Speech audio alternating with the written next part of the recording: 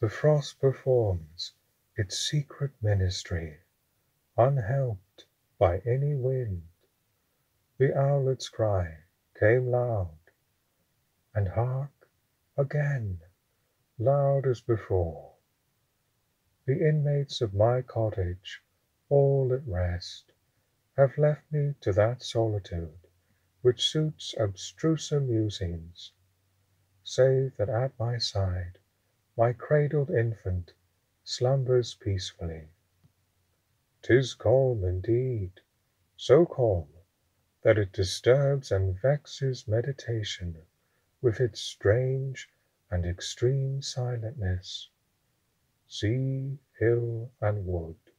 this populous village, Sea and hill and wood, with all the numberless Goings on of life, inaudible as dreams.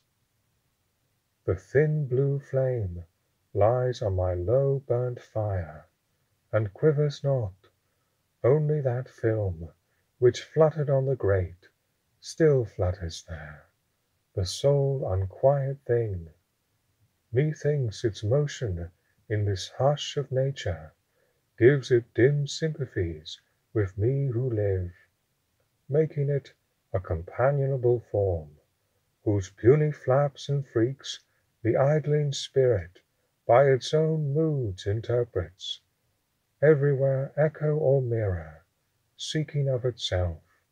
And makes a toy of thought.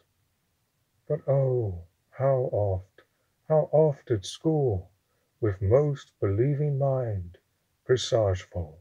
Have I gazed upon the bars to watch That fluttering stranger, and as oft with unclosed lids already had I dreamt Of my sweet birthplace and the old church tower, Whose bells, the poor man's only music, rang From morn to evening, all the hot, fair day, So sweetly that they stirred and haunted me With a wild pleasure, falling on mine ear most like articulate sounds of things to come. So gazed I, till the soothing things I dreamt Lulled me to sleep, and sleep prolonged my dreams. And so I brooded all the following morn, Awed by the stern preceptor's face, mine eye Fixed with mock study on my swimming book, Save at the door half opened, and I snatched A hasty glance, and still my heart leapt up, For still I hoped to see the stranger's face, Townsman or aunt or sister more beloved, My playmate, when we both were clothed alike. Dear babe, that sleepest cradled by my side, Whose gentle breathings, heard in this deep calm, Fill up the interspersed vacancies And momentary pauses of the thought. My babe, so beautiful, it thrills my heart With tender gladness thus to look at thee, And think that thou shalt learn far other lore, and in far other scenes. For I was reared in the great city, pent mid cloisters dim, and saw not lovely but the sky and stars. But thou, my babe, shalt wander like a breeze by lakes and sandy shores beneath the crags of ancient mountain, And beneath the clouds, which image in their bulk Both lakes and shores and mountain crags, So shalt thou see and hear the lovely shapes And sounds intelligible of that